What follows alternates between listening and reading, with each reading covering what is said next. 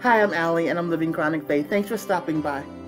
One of my favorite things about reading the Word of God is the fact that no matter how many times you read the same passage over and over again, you can always discover something new, a new concept or a, an expanded perspective of what you have read in the past.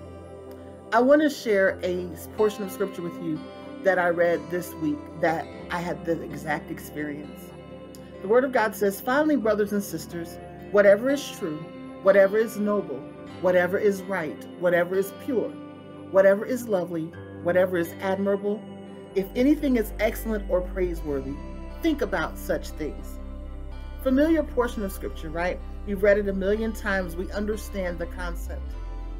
But this time when I read it, I could imagine a whole different perspective. And you know, we don't add to or take away from scripture. But as I reflected on this, I was like, well, if this is true, then what if the opposite is also true? So I took a look at that to see what that would look like. And I want to share that with you today. And it would say, finally, brothers and sisters, whatever is false, whatever is unjust, whatever is wrong, whatever is perverse, whatever is ugly, whatever is morally unacceptable, if anything is mediocre or substandard or worthy of criticism, don't think about such things. Now, the world that we live in is broken. There is sin, there is sickness, there is death, there is all kinds of negativity around us every single day. But I believe that God wants us to be able to coexist in healthy ways in that environment. The world is not necessarily going to change for us just because we show up, but we have the opportunity to change our atmosphere wherever we go. And I think that it's so important for us as we do have to see these things on the news and as we do have to see these things in our relationships and happening around us, we have to know how to deal with it.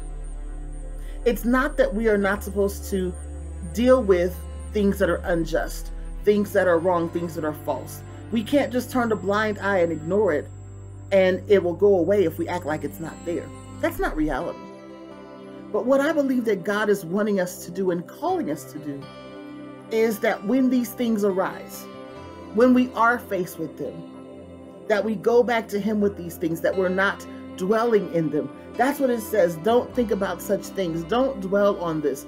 Don't allow your mindset to just marinate in this cesspool of negativity, but go back to God. The Bible tells us that thou will keep him in perfect peace, whose mind is stayed on thee because he trusted in thee. We have to keep our minds on the things of God so that our minds do not fall down into depression, so that we are not swayed by the enemy's devices and his lies, but that we are constantly feeding our souls a steady diet of the truth of God's word. And when we come up against these challenging things and these negative uh, moments that we constantly and immediately look to God for his direction, for his strength, and for the truth of his word. I believe that that is what Philippians 4 8 is wanting to remind us that we are to keep our minds on God at all times. That is how we manage the negative things that are going on around us. That is how we maintain a merry heart that does good like a medicine. That's how we survive.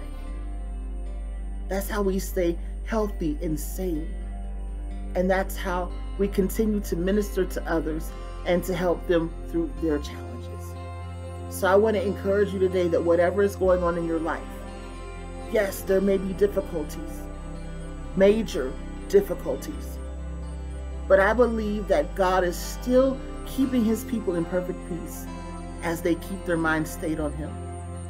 So, my word to you today is be encouraged not to dwell on those negative things, but focus on those things of God and allow them to feed your soul. There was a song that they used to sing accentuate the positive, eliminate the negative, latch on to the affirmative, and don't mess with Mr. In Between.